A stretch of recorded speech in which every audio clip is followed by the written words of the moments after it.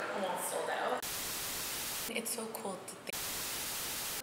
These pieces of jewelry were made from explosives, the remnants of the secret war in Laos more than 40 years ago. During the Vietnam War, the United States bombarded central Laos with bombs to disrupt supply routes used by North Vietnamese troops.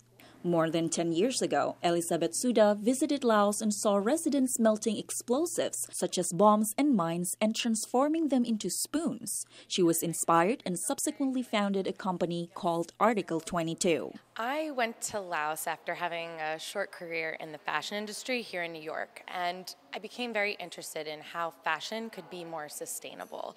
I saw how much money people spent to look good, but I thought, well, what if what if that fashion did good too? Article 22 works with dozens of silver and metal artisans in Laos to craft various types of jewelry such as bracelets, necklaces, rings, and earrings.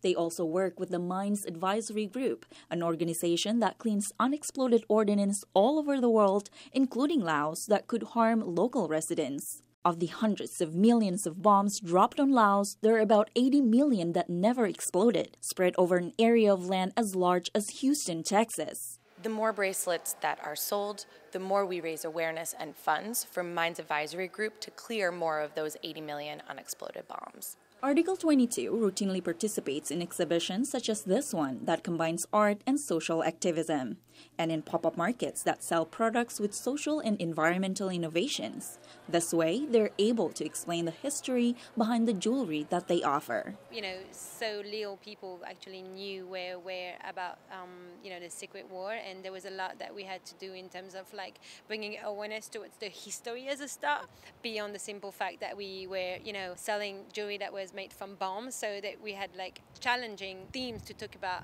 Their tagline, Buying Back the Bombs, illustrate their concept of clearing out bombs the US had once dropped on Laos.